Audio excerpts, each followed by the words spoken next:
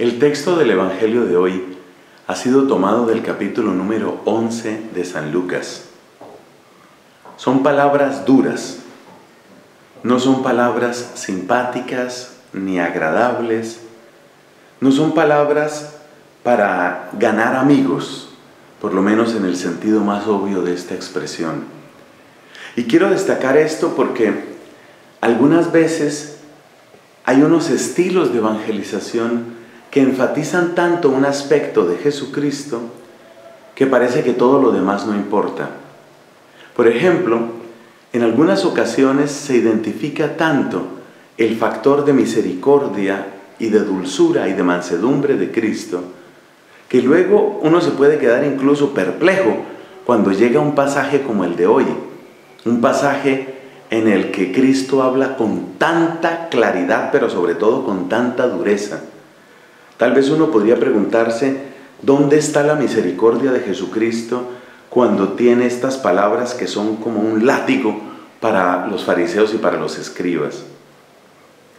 Entonces es importante no quedarnos solo con una faceta de Cristo.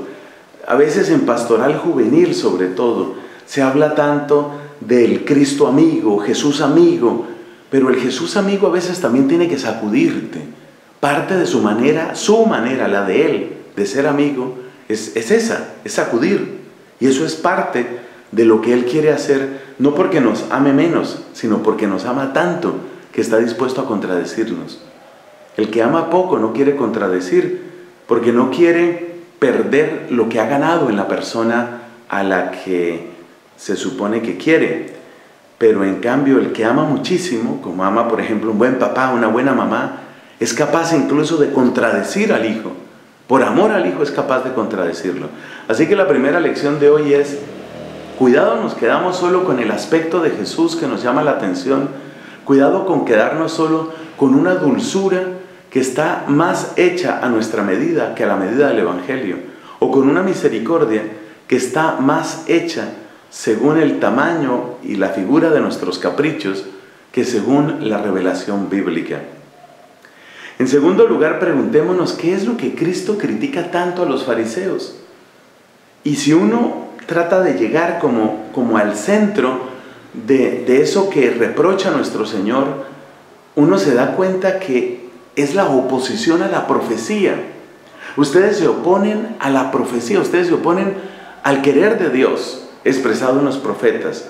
O sea que lo grave del profeta, lo grave del fariseo, perdón, es que el fariseo quiere poner su palabra por encima de la palabra de Dios. Su interpretación de la ley quiere ponerla por encima del propósito de la ley según Dios lo muestra, especialmente a través de los profetas. Porque resulta que la ley tiene unas ciertas prioridades, mientras que los fariseos parecen tener otras prioridades. Como bien destaca Cristo en más de un pasaje, el centro de las prioridades de la ley está en el amor a Dios y el amor al prójimo. Esto es lo esencial, esto es lo primero.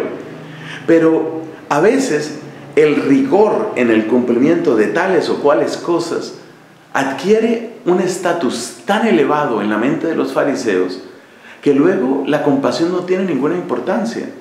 Así, por ejemplo, cuando Cristo resucita a Lázaro, para gran consuelo, para inmenso consuelo de sus amigos y sobre todo de su familia, eso no suma nada, eso no vale nada ante los ojos de los fariseos.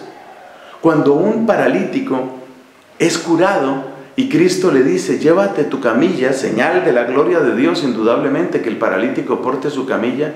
Ni la gloria de Dios importa, ni que se haya curado importa, lo único que importa fue en sábado. Entonces hay una dislocación en las prioridades de los fariseos. No es que no sea importante la ley, es que la ley tiene que estar subordinada a una ley mayor, y esa ley mayor es la que revela Cristo con su propio comportamiento, con sus milagros, con sus palabras. Y luego a los escribas, ¿qué es lo que les critica tanto a los escribas? Pues la frase está, está en el texto de hoy. Ustedes se quedaron con la llave del saber.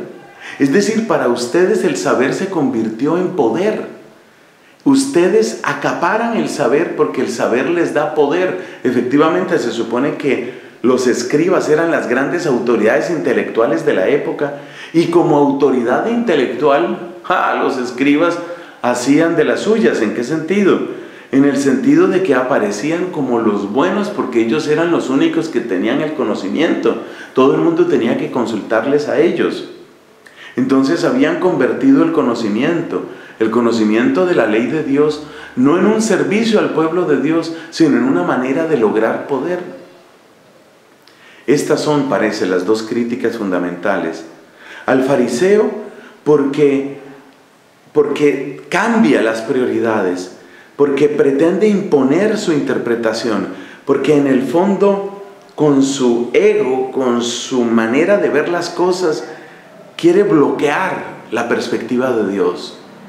Y al escriba, porque pretende hacer del conocimiento de Dios una fuente de poder, quizás de vanidad o de importancia, y de esa manera excluye a los más pequeños y a los más pobres.